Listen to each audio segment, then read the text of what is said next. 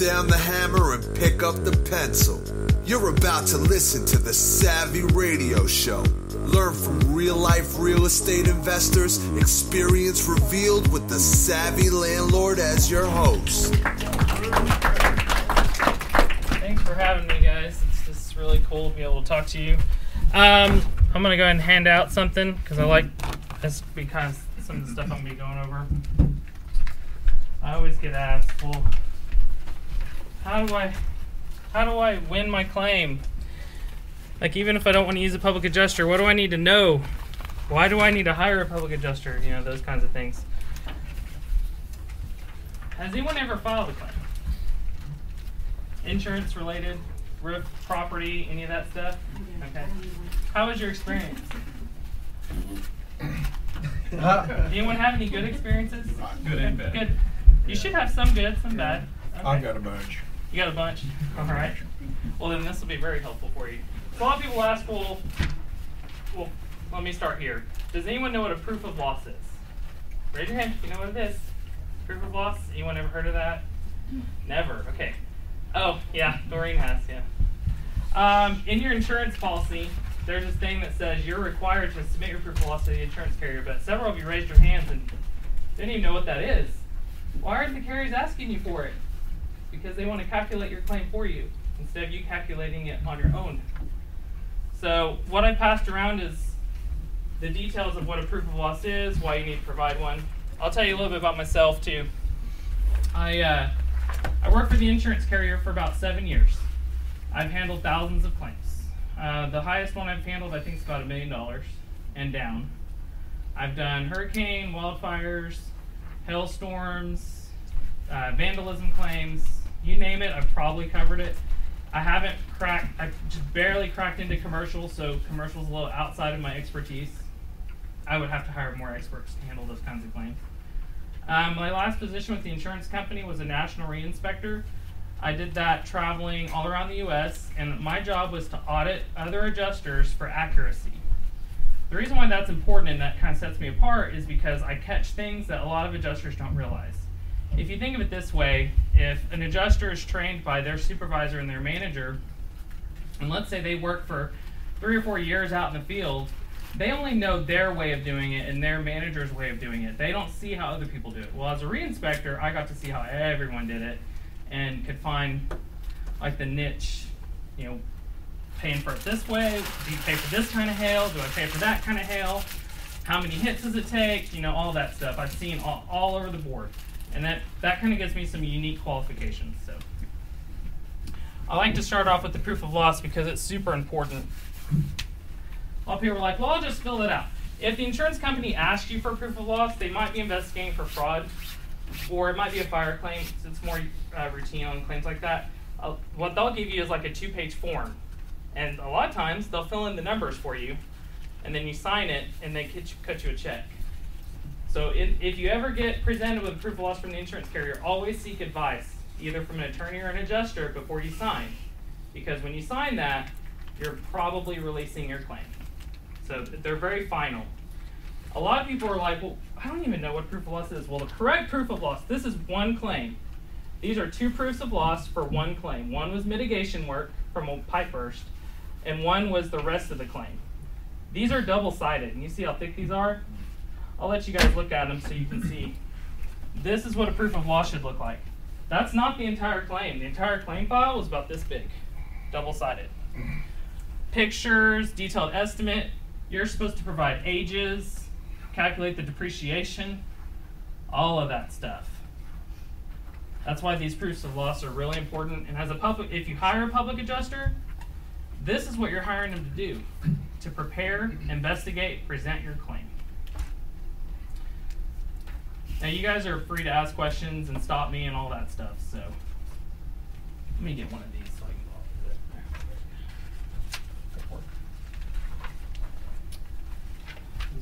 So, hail. Uh, you guys have a lot of rent, re- rentals or you're doing flips.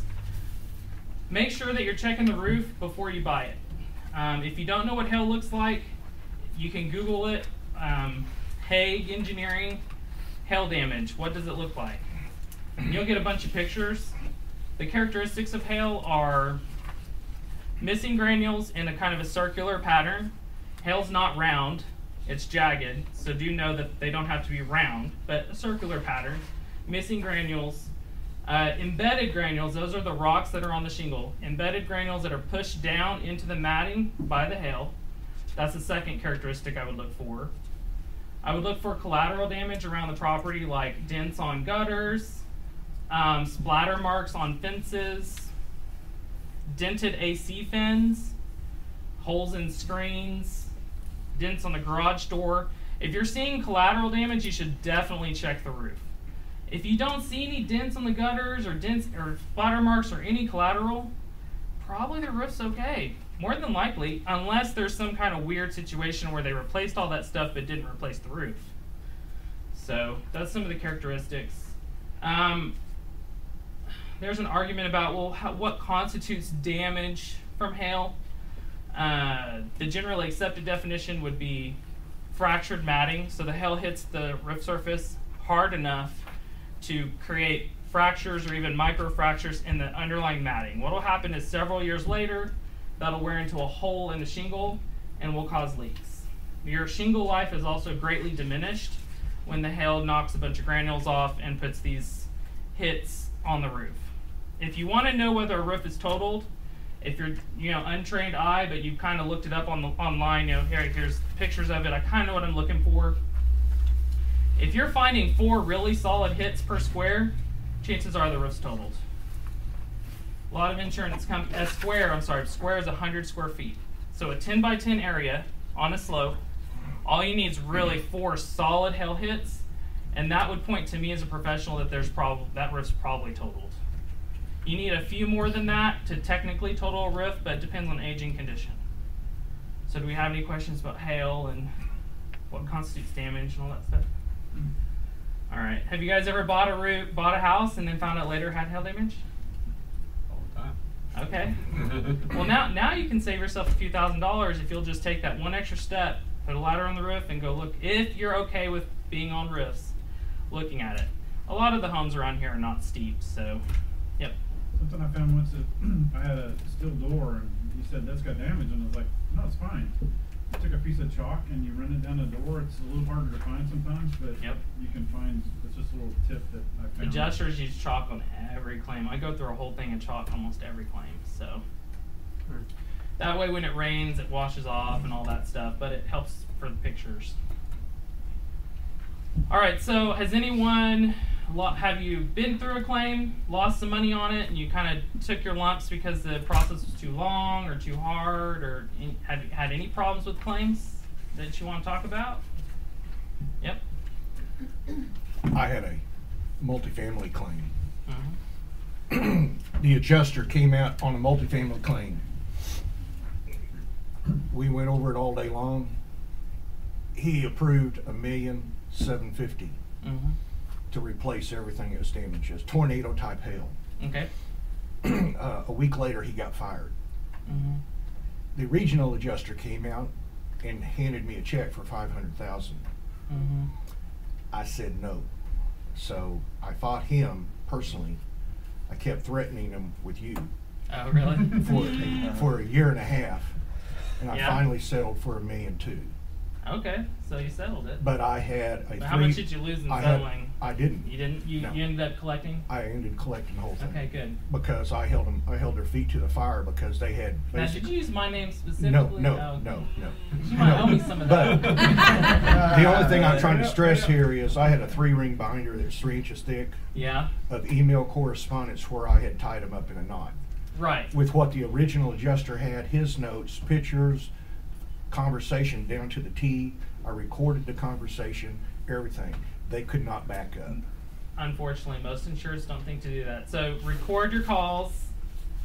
If you're not recording, you definitely want to write down everything you said and everything they said, who you who said it, and what date and time that that conversation occurred. Those notes need to be contemporaneous, meaning they have to be in order. They've got to be taken near at the time that the conversation took place. Those notes, once they're deemed contemporaneous, they can be used later. I'm not an attorney, and nothing I tell you today is legal advice. You have to talk to an attorney for that. Those notes can be used later if you have to go to court.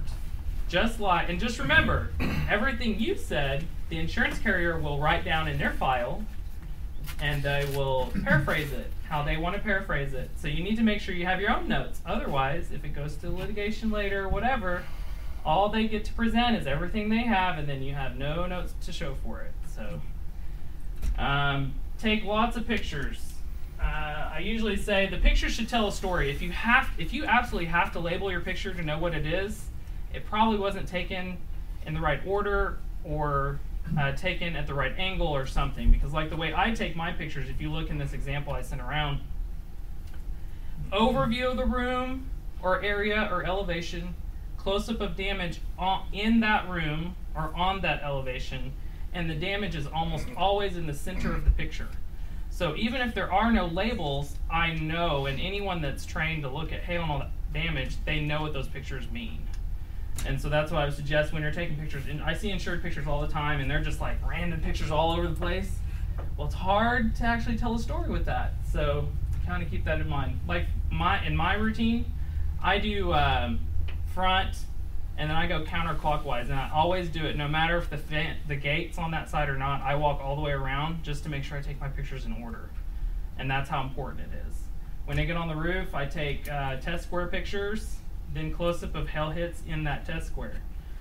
Um, if you need to show how big something is, get a ruler or something next to your picture to show how big it is.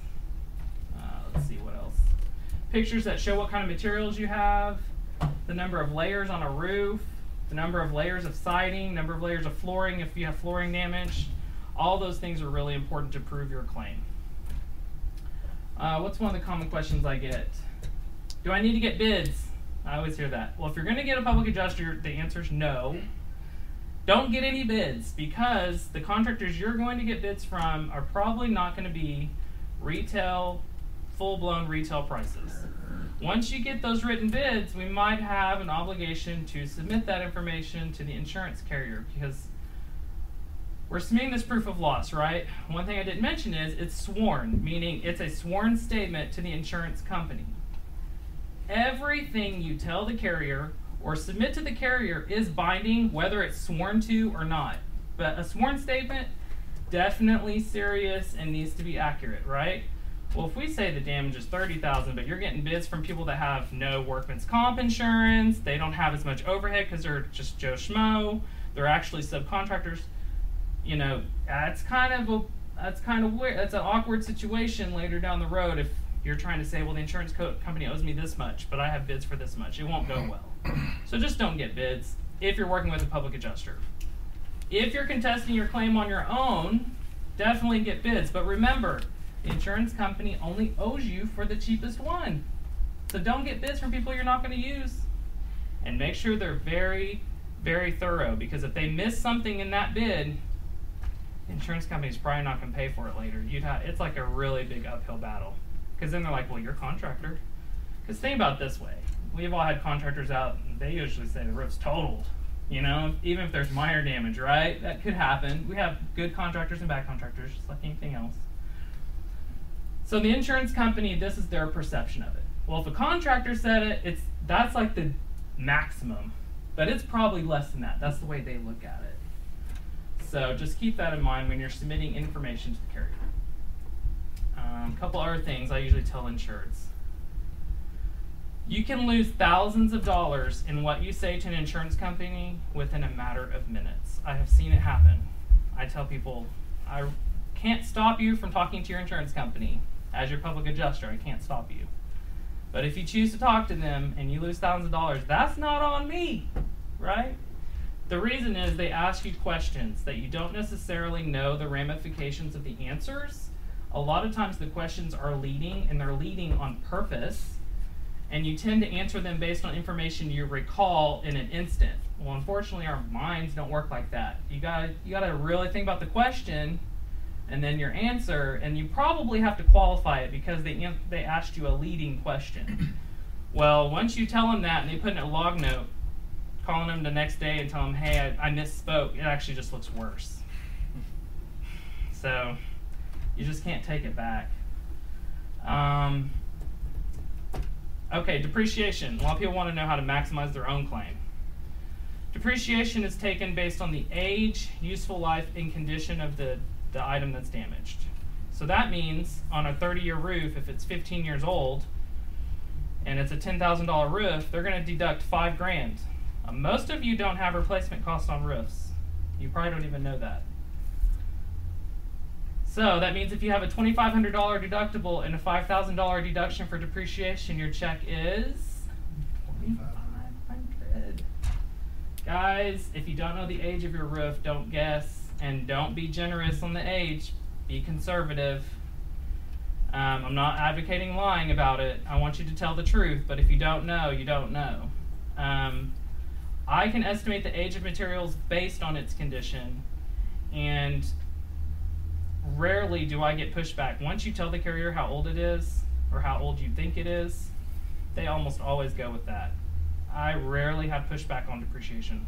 Almost never. Because they would have to prove I'm wrong, and they, they can't. If I don't know exactly how old it is, they definitely can't prove it. So they just go with my numbers.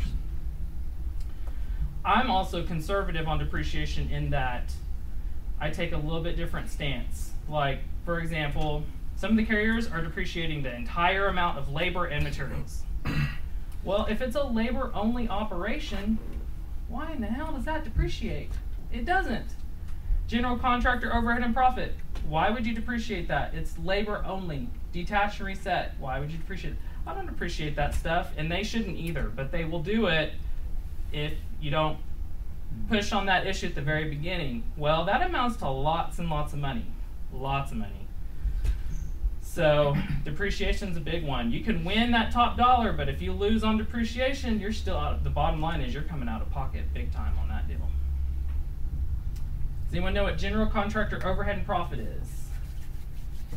No? For multi. Oh no, you items, need to know for this. multi items that you need a general contractor to cover. Yes. More than like roof. How much do they charge? Twenty percent. Ten and ten. So I'm about to correct a few things here. This is awesome. I didn't even know this till recently, and I've been doing insurance for a long time. 10 and 10, believe it or not, was a myth created by the insurance companies.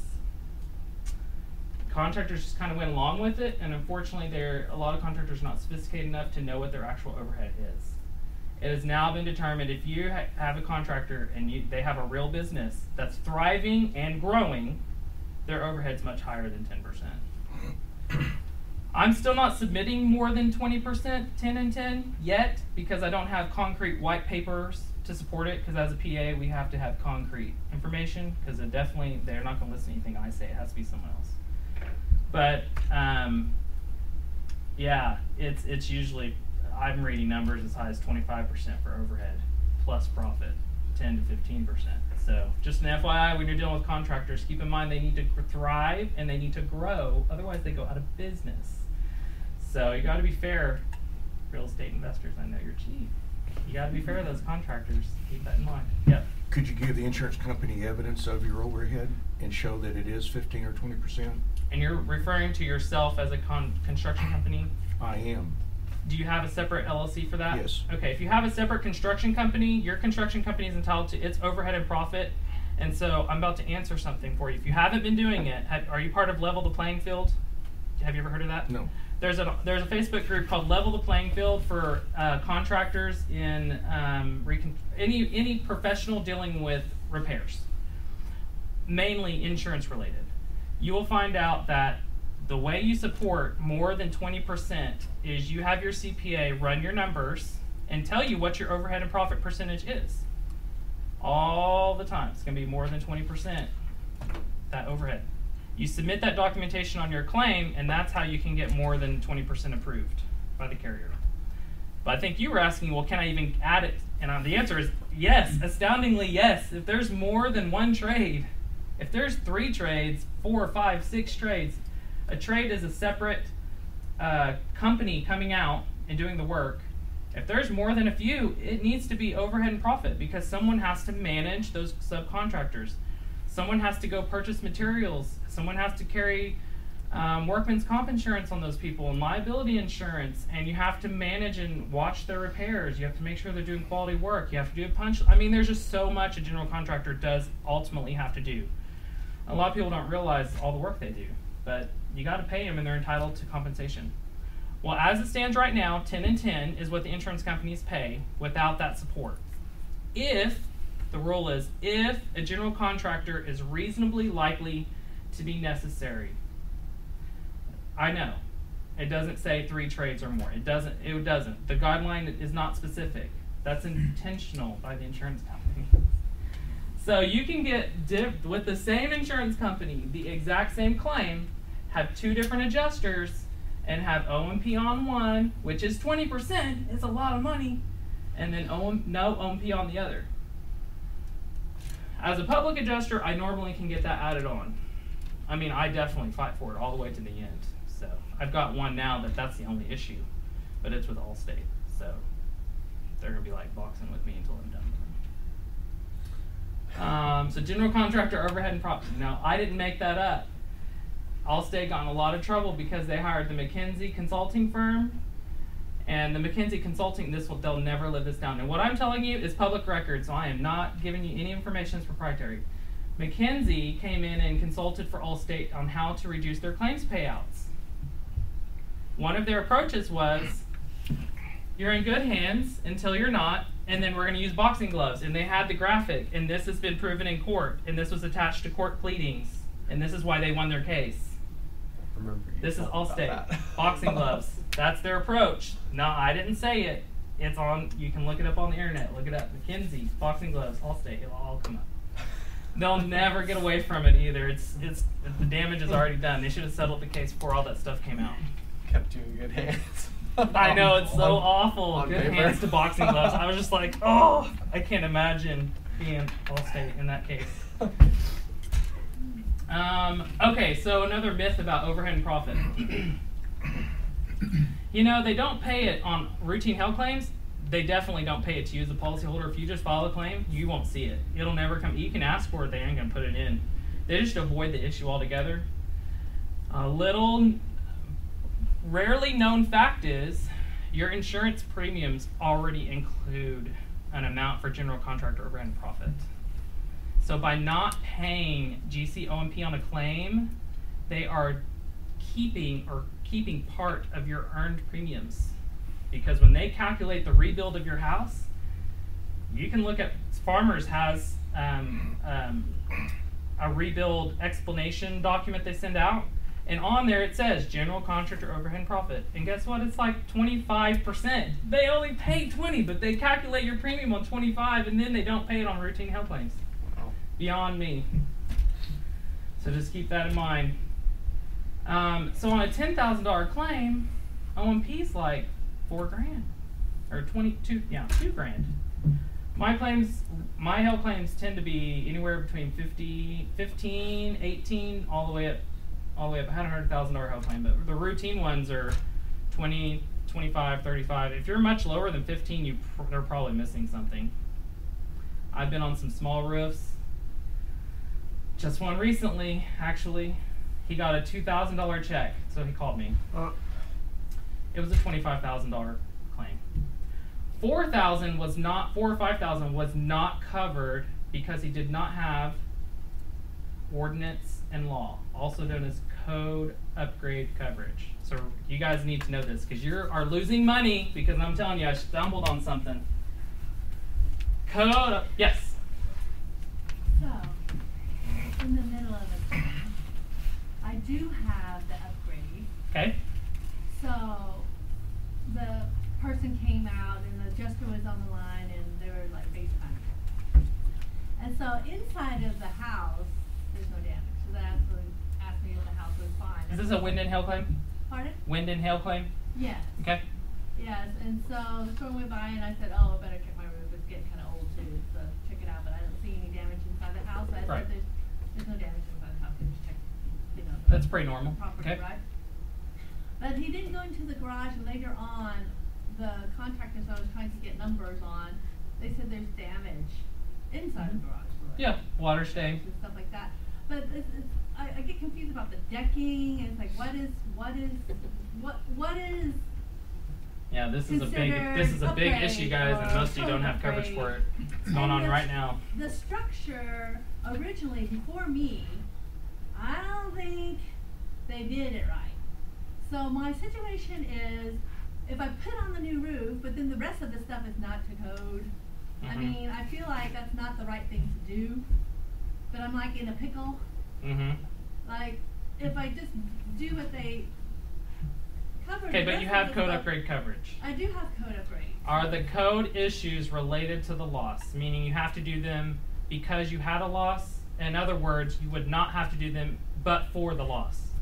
For the loss. So if, So if there was no loss, uh-huh, would you still have to repair these issues? well, They were functional at the time. it's still standing. Yeah. But Give me an example of one of the code issues that you're talking about. Um, I think like if, I think what the contractor said is that he has to rip, there's two layers there. Okay, I got And it. so I have to, and We're- then have to get a new decking, and then the, the frame, like New decking. the damage. That's of the issue. The poles or whatever, he has to change that, but that's. not- Okay. I don't know. So decking, that's it's huge right now. Yeah. That's exactly what I'm talking about. Decking is huge, huge, huge. And when I say huge, five thousand dollars of a fifteen thousand dollar claim, I'm pretty sure everyone would say was huge, right? In addition to your deductible. So if you don't have code upgrade coverage, you are going to be paying out of pocket. Or you're gonna move forward with an illegal roof. That's outside of my, you know, expertise. Or so it's a little more complicated, as as many things in insurance are. Just love this. Okay, so I'm gonna explain some things I know, and then you can make the decision that's best for you. If you have one by eight boards on your attic, and the spacing between the boards is larger than a quarter of an inch, you're required by code to redeck. This issue is extremely common.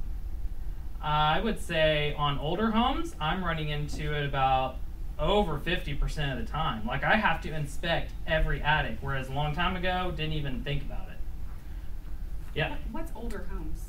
anything that's not new construction, so built in the last 10 years, maybe even less than that. Because, see, the 2015 code was adopted by Oklahoma not that long ago. When I'm talking about codes, I'm referring to the International Residential Code, IRC 2015. That's what we're on. But then you also have to look at the actual adopted version with the modifications to confirm that that giant code book is actually code. So if you're wanting to know what these codes are and you have lots of time to research it, that's what you need to look for. 2015 IRC and then look up Oklahoma building code adopted, something like that, and it'll come up. He didn't even go in the attic. He didn't. No. He probably just looked in there. He, He once he saw it was one by eight boards. there's only one way to get into the attic is through my house. The insurance adjuster or the con- contractor? No, the insu- like insurance person. They never do because they don't. They expect you to prove it to them that They that needs to be. They're not gonna bring it up. Yeah, they don't. They're not gonna bring it up. They won't. So That inspection process is flawed. And they, the the people that train the adjusters, I think, know this. But the adjusters, you have to remember, they give them a lot of claims.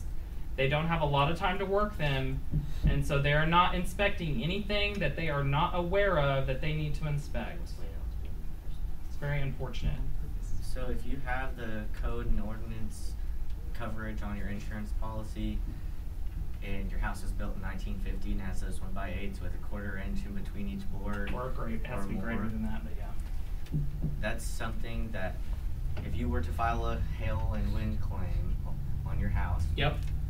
and that was the case, that's something you could bring up to the insurance company. You definitely should. Yeah. It uh, if if the roof's totaled, yes, Right, right. has to be part of the loss. correct me if I'm wrong, but there's a lot of roofing manufacturers that will void their warranty if it's on a one bay roof. Yeah, so like I said, this issue is complicated. Well, the reason why I threw out the quarter inch or larger is because the, the code is tied to the manufacturer specifications, and the, the main manufacturers make this the issue. The, the deck boards are too wide. And there there is a good reason for it. They're tied, they don't want to pay warranty claims when the nails are missing the deck boards. If the nails miss the deck boards, the expansion contraction, I'm not a construction guy, but the, the expansion and contraction uh, uh, wears out the roof quicker than what they're warranted for. Now they're giving these, they call them lifetime warranties. They're not lifetime, but there's all, it's like it's a lifetime warranty, and then there's like pages of exceptions. So, but anyway, they don't want to pay warranty claims, and so they're like, no, we need a solid decking. Now, this issue is pretty well known amongst the adjusters, so if they're not vetting it out at the beginning of the claim, they're intentionally, I would say, in most cases, overlooking it to save time at the cost of the policyholder, by the way. Yeah. Um, so that's kind of the issue on decking. Most of you don't have it because you're real estate investors, and when you go get quotes, the agents know you are cheap. So your cheapness is causing you to lose thousands of dollars at claims time. So all you need to do is very simple. Ask your agent, I want a replacement cost policy, I want code upgrade coverage, and I want replacement cost value based on how much it would cost to rebuild my house.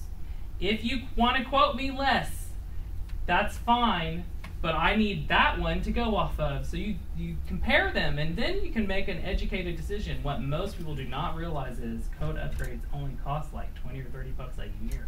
That- That's right. I, I added it to. Oh, it's awful.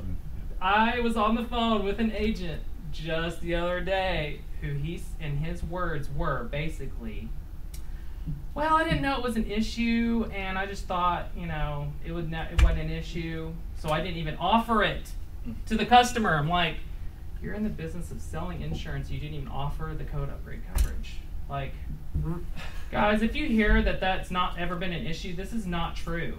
Everything has, as as long as there's been building codes, there's been code issues on claims. Unless the house is wiped off the slab or totaled, you're going to have code issues on any kind of complicated loss. Now, the decking, that's a little more recent, but it's still years. It's not like it happened last year. No, this has been going on since 2015 and maybe since 2012. I don't know.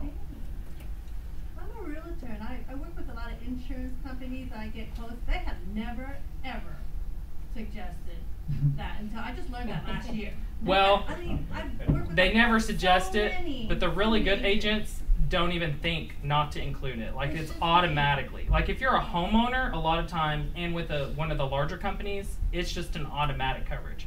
But because the insurance companies are really smart, this is my opinion, they're really smart, right? So as soon as that code became started being enforced and started being adopted, they like ga- I think gave lack of training to the agents and let them kind of like not sell it kind of like the, the error of omission. Let's not tell them about it so that when we have all these hail claims come in in Oklahoma because we know we get hailstorms, we can save five thousand dollars a claim. I mean that's that's kind of it's horrible, and I wish it weren't the case. But why didn't this agent I just talked to, who is a really it's one of the largest carriers in America, Yeah. and a very busy agent said he had hundreds of clients. Why was he not selling it to them? I have no idea. I don't know. So we'll talk about that errors and omissions a little bit again. So if your agent makes a mistake, okay, that can be an actual error or an error through omitting information. If you are using an agent, then you're the understanding most insureds would have, and I would say is the correct understanding, is that your agent is supposed to look out for your interests and to make sure there aren't any large coverage gaps that you're missing. Now, if your agent says, hey, I recommend this Cadillac policy, and you say, no, I want the cheapest possible coverages, give me that. Well, then the agent did their duty because you're the you're the consumer, you're the one that ultimately decides what you want to be exposed to. If they don't do that and at least offer you the coverage, I don't know. I, like my, one of my insurers just said, that's definitely an omission in his point because he was he was completely in the dark until I went out to his claims. It was like, uh, yeah, you don't have code upgrade coverage, but I'm gonna put it on the claim, but they're not gonna pay it, right? Well, if the agent makes an error or an omission and you can prove it, sometimes the carrier is bound to the agent's mistakes and will have to pay it under the claim. Sometimes they're not. Sometimes they're completely independent and they have no responsi- they don't have any binding authority to the agent, and then you have to sue them directly. Yep. Is there any time a code upgrade coverage will not be enforced because you do not have something else on your policy that coincides with that coverage to enable it to? No, if you have the coverage, okay, so as with all things insurance, it's very complicated. But hmm. the insurance companies are getting tired of paying for these things and they just offer it because of competitive pressures in some cases. And so they are creating this fancy language I've seen in some policies, but not here, where it says, well, if it wasn't to code when it was supposed to be code, then we don't cover it. So it's like an even further exception to the exception to the exception. It's so crazy. So that's why my answer can't be directly yes or no, but it's because some insurance carriers have caught on that some insurers will do repairs, maybe that are not even part of an insurance claim, don't do it to code, maybe because the contractor doesn't tell them they have to. And then come claims time, they find out, well, it was code to have these boards and you just replaced your roof a year ago, so now we don't owe you for that. God, I hope that doesn't become mainstream. It, as it stands right now, the most uh, prominent answer to that question is if it's not to code at the claims time and you have code upgrade coverages and it's damaged, then you're entitled to bring it up to code at that time. If it's installed completely improperly, probably have to install it properly now. That's my that's the general answer to your question. Good question. How am I doing on time? I don't even know. Twenty. I got 20 minutes left. Oh, okay, cool. Um, So, yep. say if we go out and just hire an attorney, wouldn't it come out better? Hey, you know, sometimes, but here's the thing you got to remember about um, attorneys. So if you're going to look for an attorney, you need to make sure they're specialized. They need to be bad faith insurance attorneys if you're going to sue on an insurance claim. In Oklahoma, this is not legal advice. Are we all clear that I'm not talking as attorney, right? so in Oklahoma, if you sue an insurance company and lose, you will owe their attorney fees. If you sue them and lose, they will collect their attorney fees from you personally. Which, if you go through a trial, you're looking at, you know, $100,000. So you better be right. So, this is the reason why attorneys don't take claims that you think are claims to court because it's a risk. They don't necessarily explain this to you. There's an attorney sh- uh, fee shifting provision. So, your claim has to be really legit. Now, that also goes the other direction. If you sue an insurance company and win in Oklahoma, then you'll get your attorney fees. So, and the good thing about suing insurance companies, I guess, it's a good thing, is that they always pay once the judgment's final, but, you know, that's not the issue. The issue's getting to that. They have attorneys on, on staff all the time, and they're good at it. They know how to defend claims. Um, and if you've never been in a deposition, it's could be eight to sixteen hours long about all things not related to your case. so just keep that in mind. Like every document you have, every email you have, all your text messages, all your call records, all the pictures you've ever taken, all the emails you send to your public adjuster are discoverable. So when I get involved in a claim, I tell people, look, everything you say to me or send to me is discoverable. Keep this in mind. Don't, I am not your attorney. You do not have a client privilege. Whatever you tell me. So if you tell me, hey, no, I don't think this roof is damaged, but can you submit the claim for me anyway? That conversation, discoverable. I take good notes, record most of my calls. So if you've said it, you're toast. All right. Ian, Yeah. Have you double teamed with an attorney and won a case? Yes, I had a um, a heat and air unit. The insurance company paid the roof and everything, but and they paid to comb the AC fins. Really common, really common, and no one ever does it. Well, if you were combing your fins on the AC unit after being hit by hail, you would find out that if there's more than a few dents, it can't be combed and you need a new air conditioning unit. Well, since the Freon situation now created an incompatibility with the new system, you now need an entire system. So all these claims where they just did AC fins and you didn't think anything of it because you were concerned about the roof, you might have lost another eight grand on an AC unit. This answers your question. I got involved in a claim where all that was done except for the AC unit wasn't addressed other than coming the fins. Well, I love that they paid for combing the fins because that opens coverage for the AC unit. Mm-hmm. So I send a technician out who charges two to four hundred, writes the report, says, "Yeah, I can't comb the fins, needs to be replaced, and by the way, it's not compatible." Right? Send that to the insurance company. I got a guy whose manager I actually knew from when I worked at the carrier. Anyway, they send out this company called HVACI. They only work for insurance carriers. Their job is to write repair reports on air conditioner units. I meet this guy on the on the lost site. He inspects and whatnot. I say, okay, well, tell me what you're doing. I can't because it's secret. Really? I mean, that's basically his response. I can't tell you what I'm doing. I'm not telling you what I'm taking pictures of. I ain't doing any of that. I'm like, well, but then what if you? Anyway, I got him a little miffed enough. I pushed enough of his buttons that he left without completing his report and then went on to completely misstate what happened. He basically told the carrier that he did inspect when he actually canceled his own inspection halfway through. Anyway, had all this recorded because all of my inspections are recorded. Fast forward, they get the report. Once I proved to the carrier that they did not complete their inspection, they then, HVACI, created a report that said, okay, that's fine, here's the repair cost. So we got that back, and it was still short by about 400 bucks. I was like, oh no, we're not doing this on $400. I was like, uh, yeah, you're gonna pay the whole amount. So we sent the bill in. They paid everything but the 400. They were standing their ground. We did a small claims court action, me and the policyholder and an attorney, and he won just under 10 grand.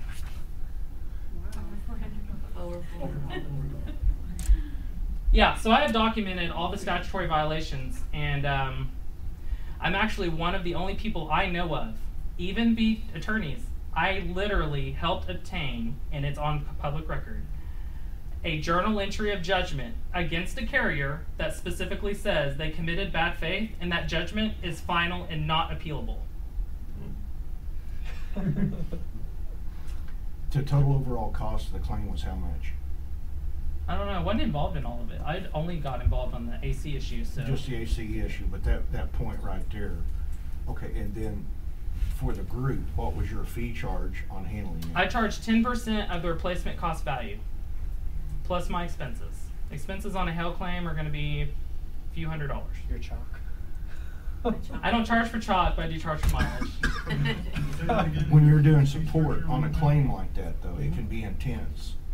Do you charge any additional for that? Not as long as you hired me on a fee basis, a Okay. ten per, a percentage basis. Ten percent of claim, is that what you said? Uh, yeah, so I always get that question, and I want to make sure this is really crystal clear. It's not 10% of your claim, right? Everyone understands that to be a different number. I charge 10% of the replacement cost value that's approved by the carrier, which is the big number. So if you chose to get horrible coverages, right?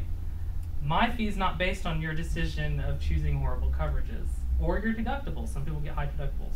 So the way that I balance this issue is if you have ba- a bad coverage and a really high deductible, and you're calling me on a health claim, I'm going to tell you you're out of luck. You need to file your own claim. I will help you. You can call me and ask questions, and I will help you. I will answer your questions, but I am not taking that claim because you're not going to be happy with me at the end. Because if they approve fifteen thousand, but they give you a check for five, and I'm taking fifteen hundred, you still can't get the roof done. I don't get take claims like that. If you want to avoid that situation, send me your policy because I look at policies for free. A lot of people don't know that. That was my next question. Yep, I look at policies for free.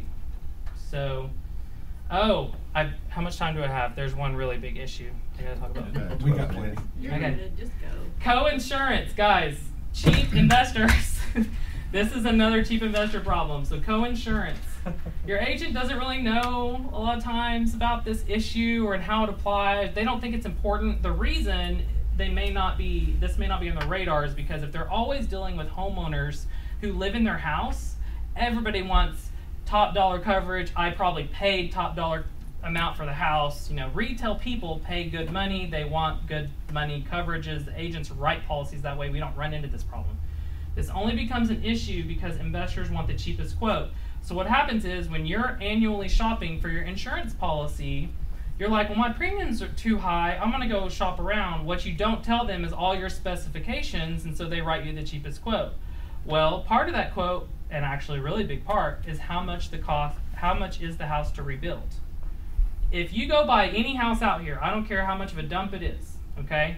The replacement cost value means if it were to burn down, how much would it cost to rebuild it today? With today's construction prices, right now, how much would it cost? It's a 105 a foot, like or more. So if you're insuring your properties for $50 a foot, you guys just don't have any idea what happens at claims time. I'm about to tell you, you're going to love this. So, first of all, coinsurance is a penalty on top of everything else that they deduct. They will deduct also the coinsurance penalty if you do not insure for at least 80% of the rebuild value, not what you pay, the rebuild value. So, if you have a thousand square foot house and you insure it for 50,000 and you have a $10,000 claim, $2,500 deductible, $2,500 in depreciation, we're at 5,000. Now, after they've deducted depreciation deductible, your net check would be 5,000, right?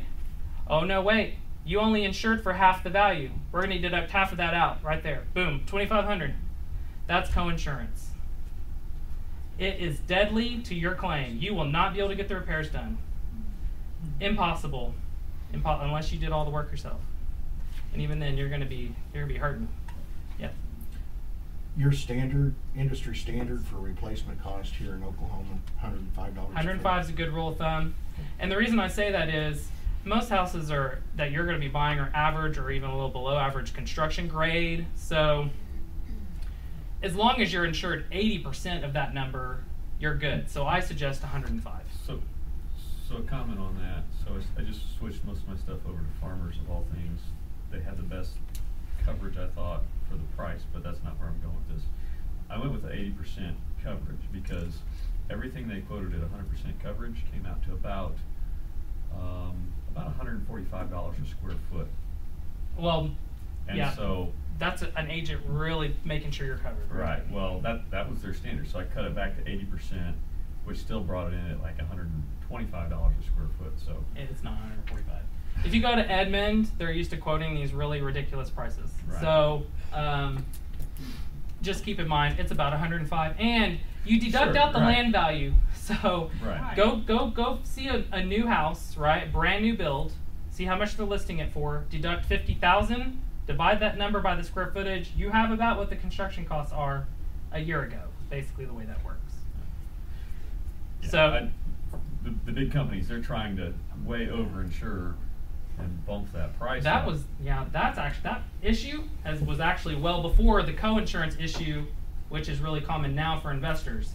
So it's now opposite. The mm-hmm. pendulum has swung all the way to the other side. Well, let's compete on price. You never want to compete on price in insurance. You always want to ask for specific coverages and then have them quote you that price. Now, if you're going to insure close to 80%, right, I'm telling you it's probably not. You're probably actually correctly insured in this instance. But let's assume you insured, you insured a property for $80 a foot. It is absolutely imperative that you know that rebuild is not calculated until you actually have a claim.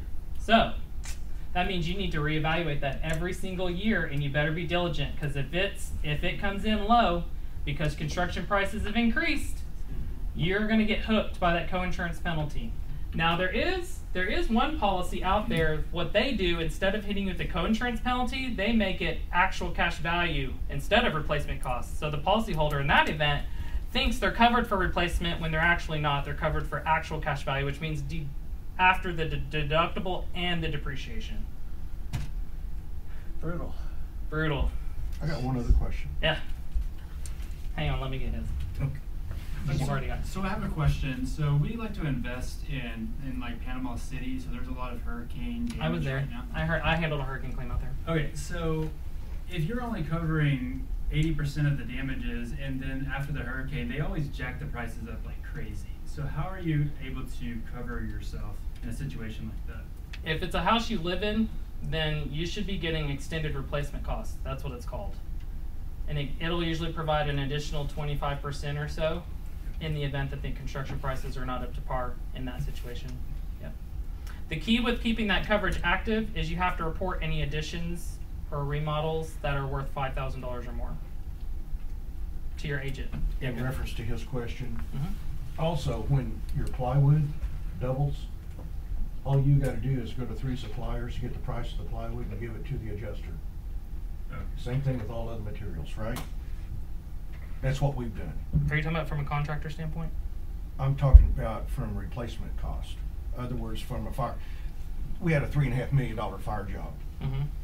The, uh, uh, Oh, okay. Yeah, you're saying to confirm material prices. Y- y- The only problem with doing that is you Yeah. shoot yourself in the foot because the contractors are entitled to their markup, Hmm.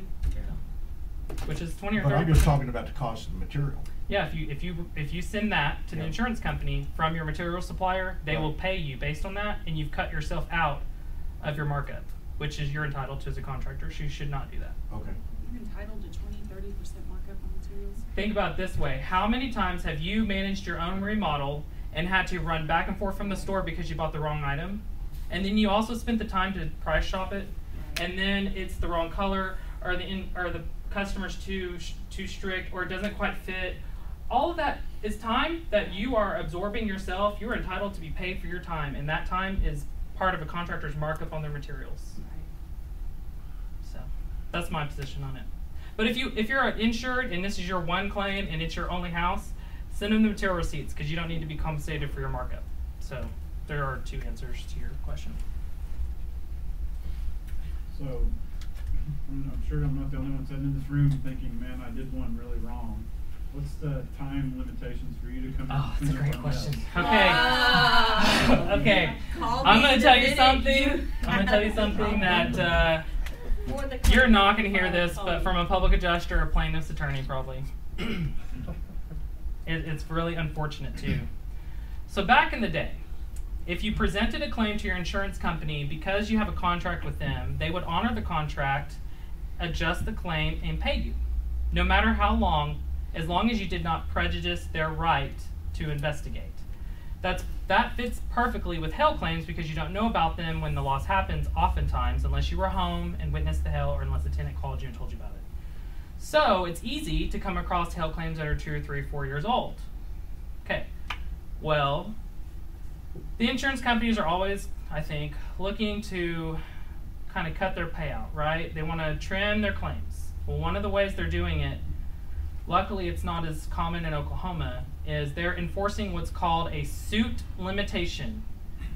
There's a provision in every insurance policy that changes the five, what normally would be like a five year deadline to sue, right? If you have a contract and the other party breaches it, you normally get five years to sue on that contract from the date of the breach. Well, insurance companies always lower that down because they can cut out a lot of their exposure just by not being able to be sued.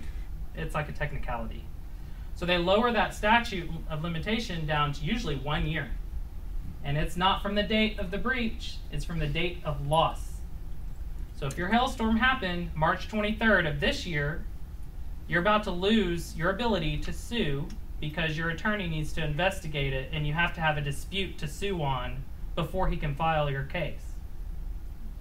So if you're thinking, well, I just waited over the season, um, you know, I I'm just gonna wait till next March. Okay, but you're rolling the dice that you're gonna have a dispute with the insurance carrier, and they're gonna say, well, that may be the case, but we're not gonna pay. And you're gonna go to an attorney, and gonna tell you, well, show me your policy, because that's the, that's what they're looking for when they want your policy. And they're gonna say, well, it's too late. You say, well, well, but they did all these bad things. None of that matters because you can't sue them after the deadline. One year of data loss. That means you need to have your claim reported and investigated and a dispute on file with the insurance company before the one year and with enough time for an attorney to completely investigate it, which is at least 30 days, before you can file. So if you think you have a claim on anything, water, fire, tornado, anything, Before you call your insurance company. Yeah, call an adjuster. Yeah. Okay, Take go- care of it from the very beginning. I'll tell you what you got. I don't charge for coming out and looking. Okay. Yep. correct me if I'm wrong on this, but gold nugget that I use, on all houses that I purchase, Mhm. I include a clause at no expense to the seller. I reserve the right to use his insurance policy at the time of closing. And I would say thirty percent of the homes that I purchase, I get the roofs replaced from the seller's insurance policy, and it doesn't ding my insurance policy. That's an awesome thing, and you're you're almost n- no one knows to do that. It's an assignment of claims proceeds.